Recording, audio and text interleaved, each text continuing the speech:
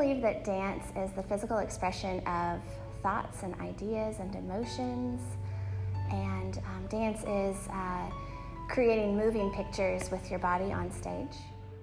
So I went to college for business and I got my bachelor's of um, business in marketing. Then I went to New York City and um, to Tisch School of the Arts um, at NYU and got my master's of fine arts in dance and learned more about choreography and performance and more about teaching.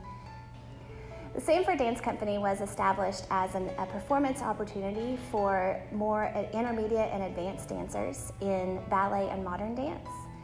Um, we meet three days a week during the semester, and um, on Mondays we do ballet technique, on Wednesdays we do modern dance technique, and then on Fridays in the fall we rehearse for our annual dance concert, which is held in February every year.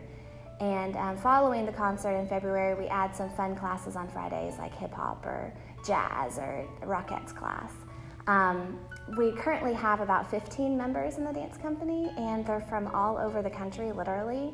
And it's really exciting because they've never really danced together.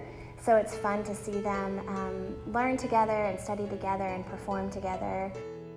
A lot of our concert dances are um, based on scripture or based on ideas from scripture.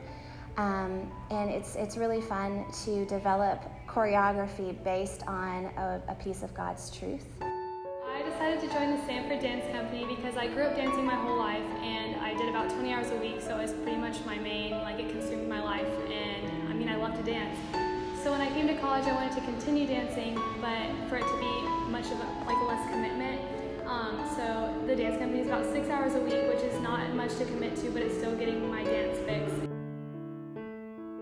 I believe dancing is where you can grow to be your own self and express who you are, and I feel like it's more about the individual, which I've grown so much as my individual self.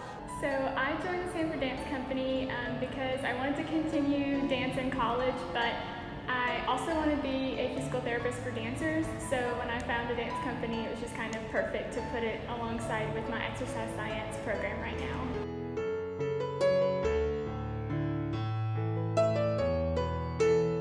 If anyone is interested in joining the dance company, they can contact me at a mccool at samford.edu and I'll give you all the information you could ever want.